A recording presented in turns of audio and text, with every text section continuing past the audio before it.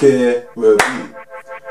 So what's going on guys, it's Amari James or Greater by the Hour here and today in this video I've come up with a new series. I don't know if it's new but you know everyone on YouTube likes to claim that it's new but it's gonna be called Gear Review and as you can see I like to watch some PewDiePie videos so that's why I clapped in the beginning like meme review and the main gist of it is that I'll be reviewing all content well some of my favorite and some of your favorite content creators gears like let's say for their camera, their lenses, their computer, what they edit on, basically anything to create content and what they deliver to us as the consumer. So in this video I'm going to be showing off my gear list so it's almost like a um, what's in my bag or what's in my camera bag video just without the massive layout I might do that for the thumbnail though but yeah in this video I'm going to be showing you what I use to create these types of videos and what I use to create my Instagram videos so without further ado let's get right into this also I think I changed up the background a bit. I was just not liking the desk area, so I just put this thing. I'm gonna get like a proper background though.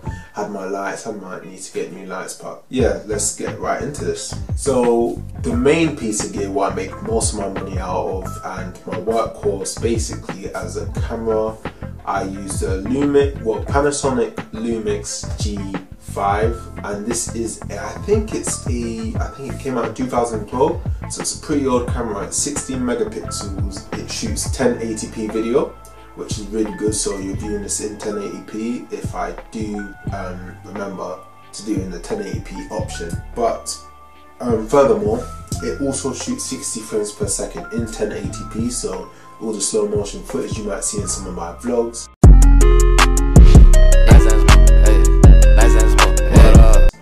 Or some videos what I do in general I like to put 60 frames per second just so it's a backup if I'm doing anything cinematic. So vlog bit will be 25 frames per second as usual.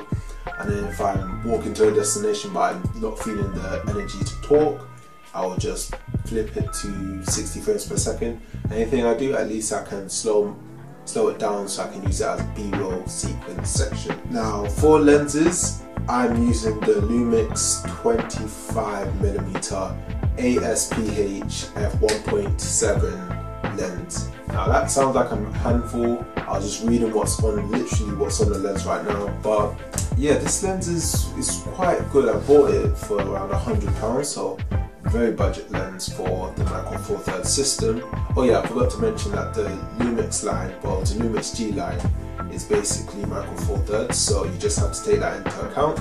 Any lens you get, if it says 25 or 12, you have to times that by 2 because that's the crop factor. So this is a 25 mil. So on full frame on um, 35 millimeter sensor, 50 mil um, equivalent. So yeah, you might think you're getting a wide angle by let's say going for 12 millimeters, you're getting a 24, which is still wide but not ultra ultra wide. So yeah, I really like this lens. It's f1.7. It's a weird focal range, but I did hear that on Micro Four Thirds as well. If the aperture is let's say f1.2, you have times that by two as per as per usual. And if it's f1.2, it would be 2.4. So you still get shallow depth of field, but I don't know, this is close to 3.5, so it's practically a kit lens. Don't you ever like discredit this lens. I've dropped this off like a flight of stairs and it's still held up. It's 100 it's 100% made out of plastic, but it's a good quality plastic. And before I keep rambling on, let me get to the next point. The second lens I use, and let me quickly get it, is the kit lens 14 to 42. Let me. So yeah, I use a 14 to 42 kit lens.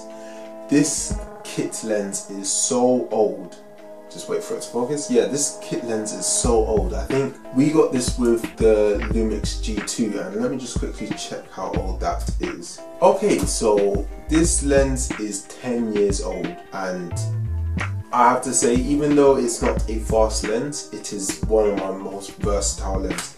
This lens has been through so much, I might retire it soon but like this has been kicked, this has been dropped, this has been thrown to other people. It's a really, really good lens. It's image stabilized as well, so if I am doing more wider shots and I want to get um, more focal range out of my lenses, I'll use this lens, but I'll only use it in a bright uh, situation. I'll never use it at night time. That's why I might use this. This lens I do use for sometimes for portraits. That's this lens was the first lens I used for like most of my Instagram um, stuff and a couple videos actually. I think it was my my first three or four videos was filmed. Actually, all of them are filmed on this video. The only video what I have not used this lens is for this video, for example. So this lens is really good. As you can hear, shaking. I think it's because it's either it's broken it still works fine, but it's either that something's loose or it's the image stabilized a bit. But yeah, don't discredit your kit lens. It is one of the most versatile lenses you might have in your kit. It will, it will never let you down. And also, fun fact, all kit lenses are image stabilized. So just to keep that credit. The third lens I use is the Sigma 18 to 35 f1.8, but because I use it with a Metabones uh, speed booster, it goes down to f1.2. So that's super wide open. I get all the light, I get really good bokeh. But yeah, this lens, I rent it from YCUK and I keep on saying I'm going to make a video about it, but I actually am going to make a video with them and it's going to come out uh, later this year. It's going to be, all I'm going to say is coffee related, but yeah, let's not talk about that. But yeah, I, um, I rent this lens from YCUK and this lens, oh my gosh, it is such a good lens. You see the video when I did the I was talking about this lens. That video was not a good example because it was very, it was out of focus for one.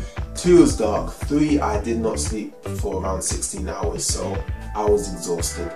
But yeah, this lens is so sharp. It's one of the sharpest lenses I've used personally, especially on my system. And what else? What else? It's really good in low light situations. I've been using it recently because like I've been doing more event style photography and low light photography and filming. So I just go out with it, just take it. You get a really wide. It's not wide as 16, but it's wide enough that it's, it's wider than my 14 to 42. The widest it can go is a what is it 24 equivalent. So yeah, it's not that wide. And it goes down to 35, which is almost true 35 in a way. But yeah, I say if you have a Canon or Sony, I think they came out with it on the Sony systems, but any major cameras like Canon, Sony, Nikon, if you don't want to buy the stock like Sony, like the um, first party 1635 lens, I say get the Sigma 18 to 35 because that lens is just is so good. Now for my workhorse, and I think I said that for my camera, but I am using the the 13 inch MacBook Pro. If you keep on seeing me look down, it's because I'm looking at my script on my laptop. But yeah, this I got this laptop on my birthday, so a couple months now and it is I didn't upgrade CPU I don't think there was any need for me to upgrade CPU um, upgraded the RAM because I think it was base stock it was 8 uh, gigabytes but I upgraded it to 16 gigabytes because like editing in Lightroom and in Final Cut Pro and in Photoshop can be very taxing for the memory. The one thing I do regret is not upgrading the internal internal storage. Like I know that most people say don't upgrade the internal storage because you can always get external but I got the 128 gigabyte SSD model, so like all the apps what I have that takes up like 50% of the um, space, and then running up. Uh, I think you have to have space on the scratch disk for Photoshop and Lightroom, so that still takes up so much storage. So I think, yeah, I say if I was going to get if I did speak to my younger self again, I'll say upgrade the model. It would, I think it was like another two hundred pounds. So just save that up. I got it with the UNiDAYS discount. Hopefully one day they could sponsor one of my videos. But yeah, UNiDAYS. Um, if you're a student, you just sign up and they have so many deals. And I think this, I think it took off like two hundred and seventy pounds off the final cost, and it gave me twenty percent off Plus. So I can kick this, I can drop this. I think I get two free accidental repairs, so I can do whatever I want with this laptop. I'm not gonna do it because I love it too much, but but yeah, um, anything what happens to it, I can get repaired, and also it comes with the touch bar. Um, I don't know what, how I feel about the touch bar. It's too, it likes to freeze too often, and that's a big turn off. But the keyboard's fine. I don't see what's the problem. I do find that sometimes that crumbs that to get into the enter key when I'm tapping it, it doesn't click properly. But hopefully that doesn't happen. This is the 2019 model, by the way. Um, as you can see, we've been taking photos. But yeah, I really like this um, key, um, not keyboard. I really like this laptop. I think my favorite part is the trackpad. It is ginormous. When I'm looking at other laptops, their trackpads are tiny. I say if you are looking for a really good laptop and you're and you want to edit on Final Cut Pro, I say get the um, MacBook Pro, but only get it when you see a discount on it. Don't get it normally because Apple does like to overcharge their stuff. And one gripe I do have about this, I know I keep on rambling and it looks like a rant right now, but the fans, whenever I like to edit, the fans just go crazy. The only good thing what I like about it though is the ports. With the ports I can connect it right to my phone and that's just it's a lot faster to charge, especially with the power adapter. This is going to be a bit of a tricky one, but the tripod what I'm using is a, is it let me I don't know how to say it Samaritan Samaritan let me try uh, Google translate this. Okay. Now hear this. Samsung Samsung Samsung okay so I'm using the Samsung CSB1 tripod. And this is a photography tripod. I really like it so far. Like I'm really really impressed. It's all it's made out of complete metal except from the clips but most tripods don't even have metal on the clips. Um yeah it's really really good light tripod. It's lightweight. I think it takes the same ball, ball head mount as the Joby one so if I do get a Joby tripod I can just switch it over. I'm not too sure but it looks very similar. And yeah it fits in my bag compared to the last tripods I've used. Like I've got a 20 pound one from Currys. It doesn't fit my bag. I have to carry it in this small little bag. And I don't like that one. That one has the handle. I don't really rate those tripods but this one's really good. I'll do a full review maybe in the future. But I say if you're if you're not willing to spend money on a Manfrotto tripod or a Peak Design, I think Peak does Peak no, Peak Design does that small tripod where it's like a water bottle. But if you're not willing to pay loads of money on a tripod, I say get this one. It's really good. It's similar to the K&F Concept one, but I don't know, I like this one. And the next thing, what if you do get a MacBook Pro charger, you need 100%, let me get them, you need these, you need like 20 of these because I've already lost, how many have I lost? I think I lost one, don't know where that is. Um, I have another one over there just as backup. This one what I use, I don't know, I'll leave some in the description below. But it comes with like a, hopefully this focus. This won't focus, but it comes with a micro SD card slot, SD card slot, HDMI, um, three USB type 3 ports I think and a USB-C port. This USB-C port, it doesn't seem to transfer any files but it's good for charging if I'm using all the ports. Also, if you are going to get this laptop, try get four ports because these two ports aren't enough. And because of storage reasons on my laptop, I got a regular computer Crucial BX SSD. It is 250 gigabytes, so that's pretty good. I'm actually running out of space on this um, SSD because I I back up all my work on it and it's USB Type C as well with the external case so I just plug that in. Ultra fast speeds. Um, I am going to upgrade to maybe a 4 terabyte hard drive so at least that SSD would be there. So if I'm if I'm traveling, if I'm like going to a different country, I'm on the go and I need to store some footage. But if I want to edit and because it's a lot faster than using a hard drive, um, I won't have a lot of buffering in Final Cut Pro.